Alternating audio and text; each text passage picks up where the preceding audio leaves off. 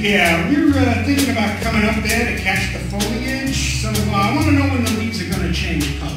Well, just a minute, please, and I'll transfer you. Beep boop. Uh, Frosty's foliage hotline. Ethel speaking. How may I help you? Uh, yeah, uh, when, when do the leaves change color up there? Oh, well, well, sir, the turning of the leaves varies depending on the weather conditions, such as how much precipitation. Yeah, yeah, yeah, yeah, yeah. But when does it happen? Well, well, speaking, the first or second week of October. Okay, but, but what about this year?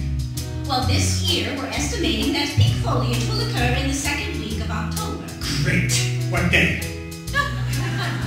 What day?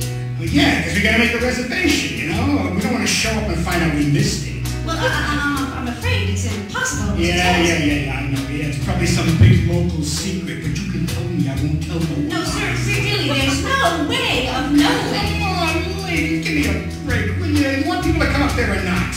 I'm not gonna come all the way to New Hampshire. if I'm not gonna get to see the leaves actually changing color. So what day do they turn?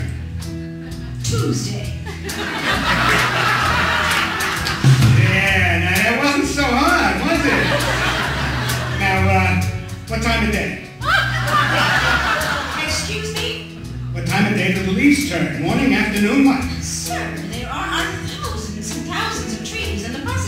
Yeah, yeah, yeah. Look, look, look. Flo and I went all the way up to Canada to see the tide coming into the Bay of Fundy. And we got there at the wrong time. How was I supposed to know it only happens every six hours? You called, Flo says. So here I am. I'm calling. I'm asking, when do the leaves turn? 2 p.m. Great. Now we're getting somewhere. So that's uh, Tuesday at 2 p.m. Now, next question. Where do you keep the moose? Moose? Yeah, yeah, moose, moose. We keep hearing about all the moose up there. We want to see a moose, you know? Just a moment, please, and I'll transfer you. Beep boop. Moose hotline. This is Ethel speaking. How may I help you?